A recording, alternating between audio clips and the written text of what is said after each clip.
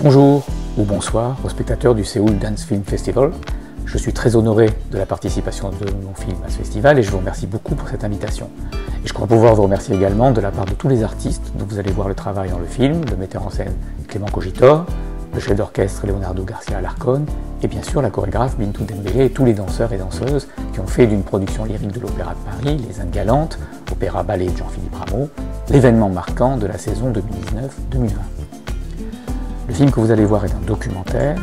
Il ne vous permettra pas de voir l'ensemble du spectacle, mais il vous donne accès à sa genèse, à tout le travail préparatoire, casting des danseurs, les répétitions musicales, scéniques, chorégraphiques, jusqu'à la première publique en septembre 2019. L'opéra-ballet de Jean-Philippe Rameau, Les Indes Galantes, a été composé en 1735. C'est une œuvre baroque régulièrement montée sur la scène de l'Opéra de Paris, mais qui présente une particularité.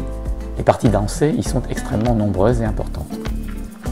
La grande première en 2019 a été d'inviter sur scène non pas une compagnie constituée, mais un ensemble d'interprètes venus de tous les styles de danse de rue, hip-hop, breakdance, voguing, crump, flexing, walking, etc. Chacun avec leur personnalité, leur culture, leur histoire, leur individualité. Ils ne se connaissaient pas forcément entre eux, n'avaient jamais collaboré à une production scénique aussi vaste. L'opéra dure 3h40 et implique près de 150 artistes et techniciens. L'opéra-ballet de Jean-Philippe Rameau s'appelle Les Indes Galantes parce qu'il raconte différentes histoires d'amour dans différents pays lointains que les Européens regroupaient alors sous le nom générique d'Inde. Que ces Indes soient orientales ou occidentales, on était au début de l'époque coloniale. Bintou Dembélé a donc créé une mosaïque de styles chorégraphiques.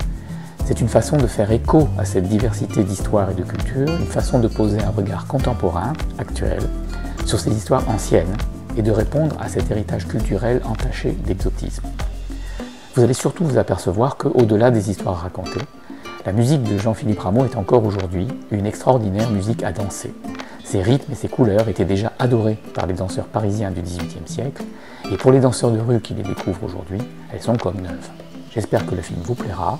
Merci encore de votre présence. Les artistes d'Inde Galante et moi-même vous souhaitons une excellente projection.